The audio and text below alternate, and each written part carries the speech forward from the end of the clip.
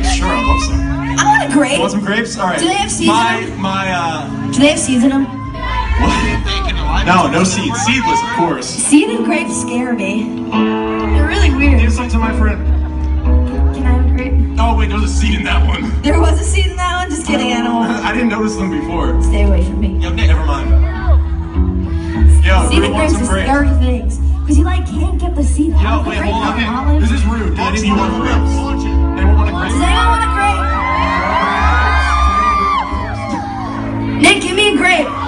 I saw that. That was Free really grapes! Give me a grape, sir. Yo, it's like it's like spring break, like free grapes! All